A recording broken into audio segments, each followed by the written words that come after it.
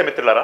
మన భారతదేశం ప్రపంచంలో ఐదవ అతిపెద్ద ఆర్థిక వ్యవస్థగా ఎదిగిందని మళ్ళీ రెండు వేల ఇరవై నాలుగులో మరొక అవకాశం ఇస్తే దీన్ని మూడో పెద్ద ఆర్థిక వ్యవస్థగా తయారు చేస్తానని నరేంద్ర మోడీ గారు ఎర్రకోట మీద నుండి అలాగే పార్లమెంట్లో ప్రసంగంలో చెప్పారు. వాళ్ళ సోషల్ మీడియా పరివారం కూడా చాలా పెద్ద ఎత్తున ప్రచారం చేస్తున్నారు. అసలు అతిపెద్ద ఆర్థిక వ్యవస్థ అంటే ఏంటి? దానికి ఉండే క్వాలిఫికేషన్స్ ఏంటి? ఒకవేళ నిజంగా మనది అతిపెద్ద ఆర్థిక వ్యవస్థగా ఎదిగుంటే ఈ దేశంలో ఉండే ప్రజల యొక్క పరిస్థితి ఏంటి? ఈ దేశ ఆర్థిక వ్యవస్థ ఎలా ఉండేది? అనేది నిజమా కాదా? ఈ ప్రచారం అనేది మనం ఒకసారి తెలుసుకుందాం. భారతదేశంలో గత నలభై సంవత్సరాలలో ఎన్నడూ లేనంతగా నిరుద్యోగం చాలా టాప్ లెవెల్కి వెళ్ళిపోయింది. యూత్లో కూడా ఇరవై మూడు శాతం యూత్లో ఈరోజు నిరుద్యోగం ఉంది అని చెప్పి అనేక లెక్కలు చెప్తున్నాయి. ఆకలి సూచి చూద్దాం. ప్రపంచంలో నూట ఇరవై ఒక్క దేశాలలో ఆకలి సూచీలో మన ర్యాంకు నూట ఏడో స్థానానికి దిగజారిపోయింది. అంటే ఆకలి ఈ దేశంలో పెరిగింది అని హంగర్ ఇండెక్స్ తెలియజేసింది. అలాగే విదేశాల నుంచి మనకు పెట్టుబడులు వస్తున్నాయా లేదా? మన దేశంలో పెట్టుబడిదారులు ఇన్వెస్ట్ చేస్తున్నారా లేదా? ఇది కూడా మనం ఆలోచించినప్పుడు అదే విధంగా మ్యానుఫ్యాక్చరింగ్ రంగంలో ఎలా ఉన్నాం? ప్రపంచం మొత్తానికి మ్యానుఫ్యాక్చరింగ్ రంగంలో మనం ఒక పెద్ద హబ్గా తయారవుతామని చెప్పి చెప్పినప్పటికీ కూడా ఈరోజు మన యొక్క పరిస్థితి వన్ పాయింట్ త్రీ శాతానికి పడిపోయింది. మ్యానుఫ్యాక్చరింగ్ రంగంలో కూడా మనం పడిపోయాం. ఆకలి సూచీలో ఎగబాకాం. నిరుద్యోగం పెరిగింది. దేశంలో పారిశ్రామిక వర్గాల యొక్క పెట్టుబడి తగ్గిపోయింది. అలాగే ప్రైవేట్ ఇన్వెస్ట్మెంటు ముప్పై శాతం నుండి పంతొమ్మిది శాతానికి తగ్గిపోయింది. ప్రైవేట్ ఇన్వెస్టర్లు ఎవరు కూడా ఇన్వెస్ట్ చేయటం లేదు.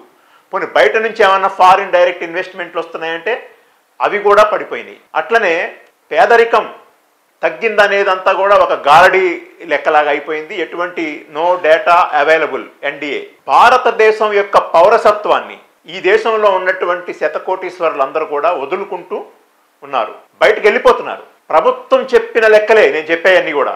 రెండు లక్షల ఇరవై ఐదు వేల ఆరు వందల ఇరవై మంది భారతదేశము తమకి సురక్షితం కాదని చెప్పి మన వాళ్ళు మన దేశ పౌరసత్వాన్ని వదులుకొని బయటకు వెళ్ళిపోయారు. అది ఈ సంవత్సరం అయితే అందులో చాలా ఎక్కువగా ఎనభై వేల మంది ఇక్కడ మనకు సురక్షితం కాదని చెప్పేసి బయటకు వెళ్ళిపోయిన పరిస్థితి ఉంది.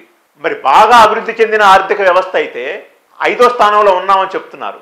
మరి తలసరి ఆదాయంలో కూడా ఐదో స్థానంలో ఉండాలి కదా? తలసరి ఆదాయంలో మనం నూట ముప్పై ఎనిమిదో స్థానంలో ఉన్నాం.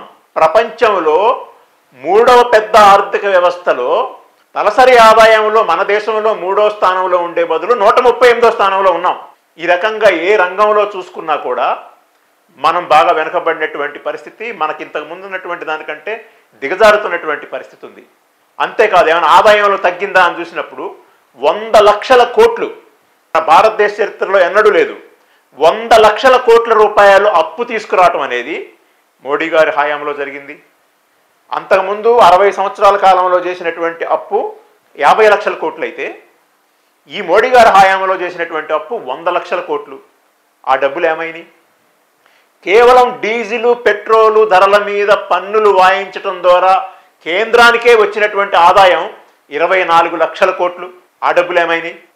జిఎస్టీ ద్వారా చాలా పెద్ద మొత్తంలో ఆదాయం కేంద్రానికి సమకూరుతా ఉంది. ఆ డబ్బు ఏమైంది?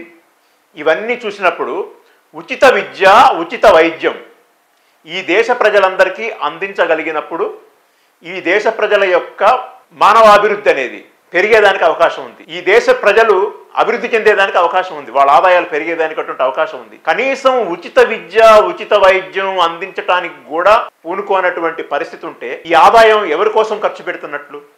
పన్నెండు లక్షల కోట్ల రూపాయలు బ్యాంకులకు ఉన్నటువంటి రుణాలని కేంద్ర ప్రభుత్వం రద్దు చేసిందని పార్లమెంటు వేదికగానే చెప్పడం జరిగింది. మన దేశం యొక్క ఆర్థిక పరిస్థితి ఏ రకంగా ఉందనే దానికి ఇంకా అనేక రకాలైనటువంటి ఉదాహరణలు కూడా మన ముందు ఉన్నప్పటికీ ఈ ఐదవ పెద్ద ఆర్థిక వ్యవస్థ మూడవ పెద్ద ఆర్థిక వ్యవస్థ అనేటువంటి దంబాచారాలన్నీ కూడా కాకి లెక్కలు. ఈ బయటికేటి కూడా బేస్ లేదు. ఒకవేళ బేస్ ఉందనుకున్నా కూడా ఆకలి సూచి నిరుద్యోగము పెట్టుబడులు తలసరి ఆదాయం వీటన్నిటిలో కూడా మన డొల్లతనం ఏంటో బయటపడుతున్నా కూడా వేదికలెక్కి ఐదవ ప్రపంచ ఆర్థిక వ్యవస్థ అని చెప్పుకోవడం అనేది సిగ్గుచేటైన విషయం.